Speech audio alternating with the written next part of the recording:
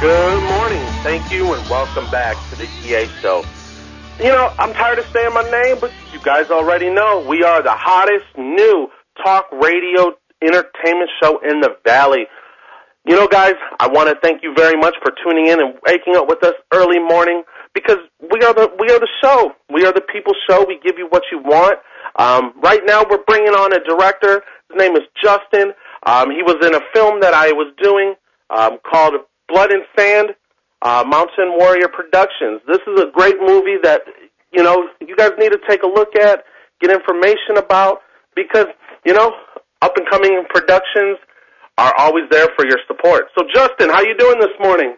I'm wonderful. How are you? I'm doing great. Thank you for giving us a call. You know, our fans that are stay tuned and listen definitely want to know, you know, what it takes to, you know, make a movie, to come up with scripts. And this was a great way for you to come on and tell us how to do that. Um, first question I want to ask you that, you know, I get, you know, I get a lot of requests from fans that are asked, what does it take to develop a script? When you came up with the script for Blood on Sand, how did you come up with that? hmm Um, well, basically, you just have to have a story to tell. Um, so we were looking to make a film, um, and so um, that story just kind of came to me. Um, it was the story is about a 19-year-old boy who um, tells his father that he's going to quit business school to pursue modeling full time, and so that story um, was inspired a lot by my own experiences being a model in Atlanta and a lot of the stories I had heard from other models. So it was just kind of a story that came to me. And so I mean, that's a perfect. I mean, that's a perfect way to to make a story. Is you're taking your own life experience and putting it down. I mean, that's a lot. The way a great you know director does this thing is is taking life experience. Um, that's a that's a great way to go. I mean, a lot of fans don't understand that that when they when you develop a new film, a new movie, that's even independent short films, it, it takes a lot of heart and time and pressure. I mean, how long did it take you to actually you know work on that script? You know, some people say it takes a, you know a while. Some people say it's short. You know, I get a lot of another questions that I get is how long does it take, you know, a director, or a screenwriter to come up with the script of a film? How long did it take you to come up with that? Because, like you said, it was part of your life, so it had to take some time to get that together. Um, I usually take um, a day or two just to create the story in my mind uh, when I'm driving or in the shower or whatever. uh, I mean, when it comes to actually writing it down, it took probably um, a total of about two hours. I, I write very fast once once I get started because as a old former South Georgia moonshiner told me one time. The hardest well, part that's, is getting that's the started. best way to do it. Best way to Yeah. do it. Um, you know, I'm going to explain to him, to the people that are listening, that I was a, I was a character on your film. Um, Mhm. I played Dave. He was a he was an actor. You know, and I'm going to ask you questions about Dave in a 2nd Mhm. But let me just explain it to how I took it. Dave was a was an unemployed, fall down actor that was looking to reboost his career and to make some money. Um, Mhm. and he did this film, and he was a creeper. He played a creeper to scare the to scare the model to not model. I mean, did I basically get my character correct? You got it. Yeah, he was kind of a down on his luck actor, which uh, you, you see a lot of around. in the, yeah, I in- definitely agree. so yeah, um, so he was just looking for a gig to put food on the table. Basically, he thought he had a Well, sweet deal. you know, and that's the thing is, how did you come up with like the names? Did, were they just like random names that you just thought of, or was each character a symbol of somebody in your past that you've met that you know has taken your career at different levels, or was this just a just a bunch of fictional characters? um, a lot of times names will just, you know, they'll be chosen because they fit the character. Uh, a lot of other times they will actually be inspired on real people that you have known, but obviously you don't want to name names. But Exactly. yeah. hmm Okay, so I mean that's good. I mean, so it, with this story, like I, you know, just want to just recap it. is it it was more based on a you know your experiences with different with different scenarios in the acting and modeling world, and mm-hmm. the characters obviously different names are type of people that you ran into. Because in the acting industry, you know you know better than me because I'm just an actor. You do meet some bad actors and you you meet some bad directors and things like that in the business. So this movie kind of fits that role. It, it's a really short. It's about what seven minutes and nine, seven minutes and thirty nine seconds long. That's mm-hmm. it's a great short film. I mean, a lot of people should definitely look at it. It's you know, again, we support developing new producers, directors, new actors. I mean, we had a you had what was the choice of picking the actors? Because you had a you know a, a model that was you know moving into the acting industry on the mm-hmm. set. So, what was the, your choice of that? What what did you like the best about you know going ahead and casting your your your actors for this role? What was the biggest thing that you were looking for when you sat down and you looked at all your casting, you know, aspects? What was your biggest thing that grabbed your attention? This actors. What's how do you how do you cast them? Because you have to get like yeah. fifty to a hundred casting. How do you do that? How do you pick them? because it's a yeah. hard job. I mean, as an actor myself, I would love to know how do you how do you pick them. Yeah, um, yeah. Casting is one of the most challenging parts of making a film. Because you have to find the right people, and then they have to show up and do a good job for you. Um, and so, yes, you're right. We did uh, look at a whole bunch of people through different casting calls and and uh, through different agents. It looked at a lot of people, a lot of professional actors. Um, for the the star of the film, um, we ended up casting a young guy by the name of Carson Heiner. He was local talent, which is what I was looking for, and um, he was not a professional actor. In fact, this was his first film, and um, I was looking for someone who had the high fashion model look who could, uh, you know, legitimately sell that, and that's a hard thing to find because, um, you know, high fashion modeling is very specific. Not just any good looking guy can do it, and so it's a very small percentage of the population. So I was looking for that specifically,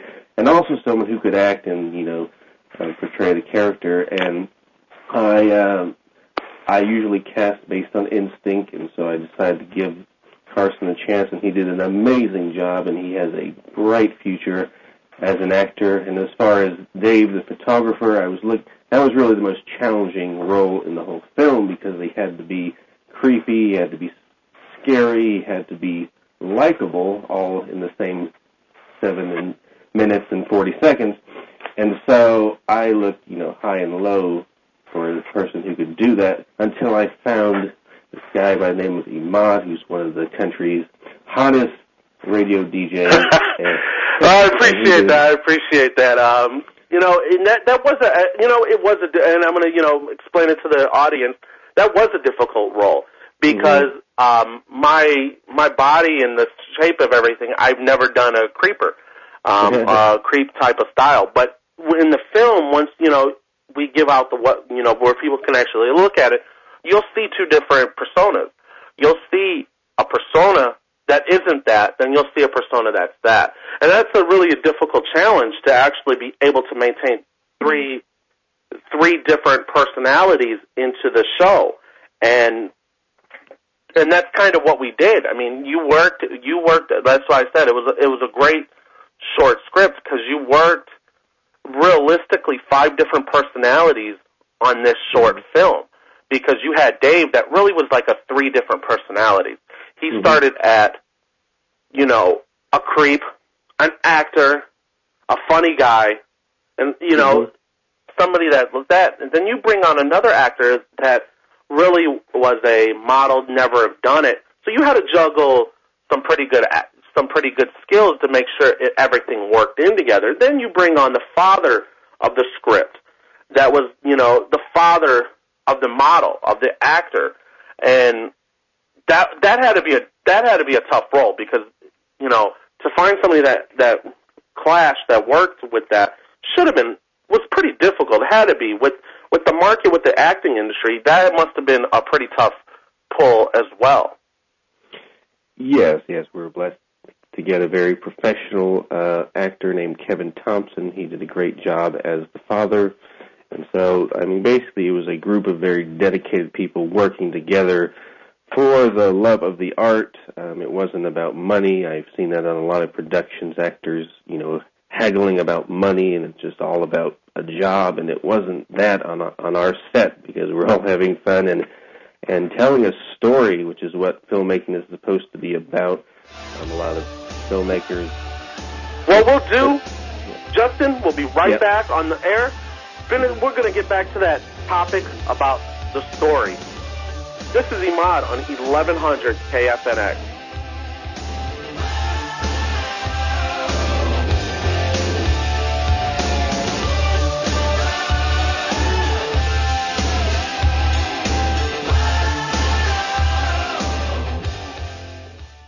Hey, I'm Don McDowell. Join me every Sunday morning, 7 and 9 for Shake, Rattle, and Troll, Arizona's only exclusive fishing show. A look at local, regional, national tournaments, recreational fishing, freshwater, saltwater, and beyond. Shake, Rattle, and Troll is brought to you by Bill Chrysler Jeep and Dodge, Sunday morning, 7 to 9, right here on KFNX 1100. An education lasts a lifetime. If your child's school isn't challenging them and preparing them for the future, apply today for an education savings account and give your child access to the school setting that best meets their needs. One in five Arizona students are eligible for a state-funded education savings account to pay for private school, homeschooling, or online classes. To find out if an education savings account is the right fit for your child, visit askamomaz.org. To qualify for next school year, apply before May 1st. Visit askamomaz.org. News, entertainment, celebrities, unpredictable. No one's ever told me they wanted to take their pants off during an interview. I just wanted to be honest, okay? the Gary Duff Show, Saturdays from 11 to 12 on KFNX 1100 AM. Hi, Rick and Dave here. The Elton Brothers on KFNX. Have you ever pulled in front of a listing, can't get a hold of anyone, and just wanted more info and photos? That's so annoying. Well, we have an app for you. Simply text Elton to 32323. It's completely free and downloads right to your mobile device. So any real estate sign across the valley. Text Elton to 32323 and get all the MLS info right to your phone. Immediately. The Elton Brothers, Realty One Group, putting real estate in the palm of your hand. Sun Devil fans, are you ready for the return of Todd Graham's fast-paced, high-octane offense? Throws for the end zone, caught for a touchdown! The catch is made by DJ Foster! What about the most ferocious, attacking defense in the Pac-12? Pressured and brought down by Will Sutton. Sun Devil football ticket packages are on sale now and start at just $99. Visit sundeviltickets.com or call 480-965-5812. Sun Devil football. Ready, set, conquer.